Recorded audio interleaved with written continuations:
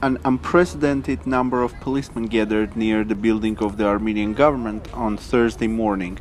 The entrance is cordoned by the officers of special forces.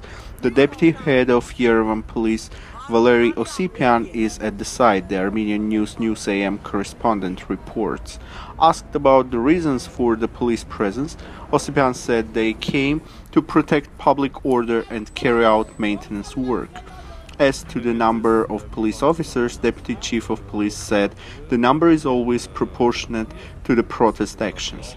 The number of police officers is probably explained by a protest against the law on pensions planned for noon in Yerevan.